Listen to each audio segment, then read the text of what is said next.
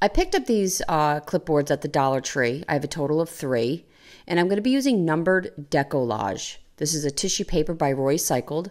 You can find this at chalkitupfancy.com. It's full of numbers and bright colors. And I'm going to start by tracing out the clipboards to my tissue paper. Then I'm going to make sure that I cover this with Wise Owl white primer. If I do not, we're probably going to get some bleed through as this is uh, like a press board. So this white primer is just going to block that and at the same time it's going to brighten up my background. Anytime you use a light background, you're going to make your paper brighter and bring out the colors. And I did this to all three clipboards. Now I'm going to take the one hour enamel clear you can also use our varnish. And I place my cutout piece on top of the board. I'm going to be avoiding the metal clip part. Now, I didn't do this, but you can cover that with press and seal just to make sure that you don't get any glue on it. And then you're going to take your um, brayer and your saran wrap, and you're going to lay the saran wrap as a barrier now I just did up to the um, the metal clip, and now I just kind of put a slice to the left and to the right of that metal clip so that I can kind of go around it. And it's going to release tension from the tissue paper to hover above it.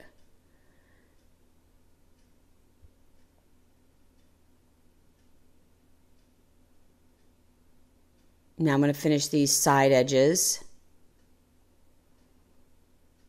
And this just allows me to do this a little bit more neatly and avoiding getting glue on my metal. Now, once everything's laid down, I'm going to take my one hour enamel clear and reapply it. And then I'm going to set it aside to dry. Once dry, I'm going to take maybe an 80 grit sandpaper and you're going to make sure that you're just hitting edges. And I'm just going along the edge of this metal clip just to get any excess paper around this particular area.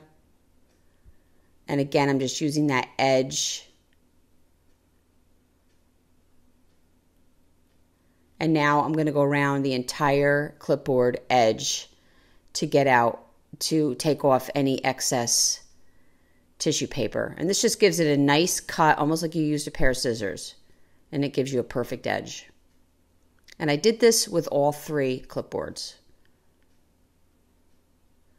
Now I'm going to do another coat of the one hour enamel clear just because I'm going to be using this and I want to make sure it's nice and durable.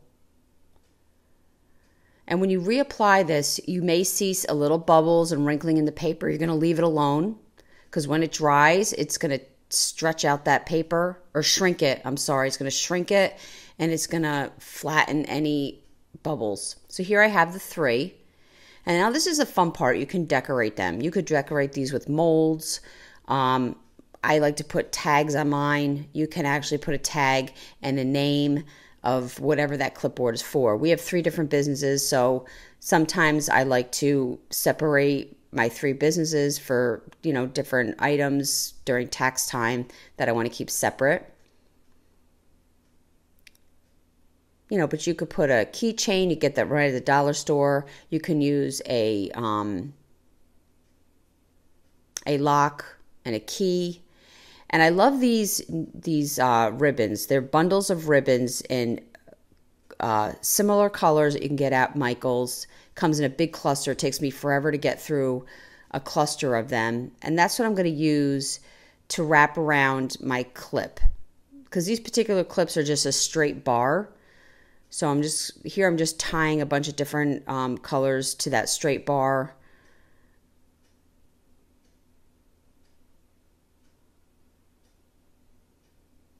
And trying to cut them close to the same length.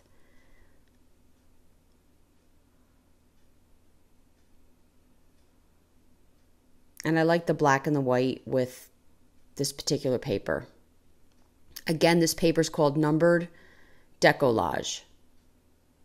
And here's my first one. And each one I used the same ribbon but did just a different type of bow. And you can use a little hot glue to keep everything from rolling on that. Um, it's kind of like a straight bar, and sometimes the fabric does want to roll. So you can use a little hot glue to hold it in place.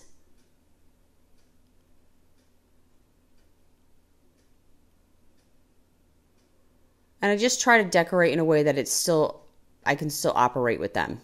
And this is my last one. I just took a whole clump and just put it in a, in a tie. And there you go. I really hope you enjoyed this video. For other tutorials, go check us out on YouTube. You can now watch all our videos at chalkitupfancy.com. For any paint products, tissue paper transfers, or mesh stencils, chalkitupfancy.com. Thank you so much for watching and have a great day.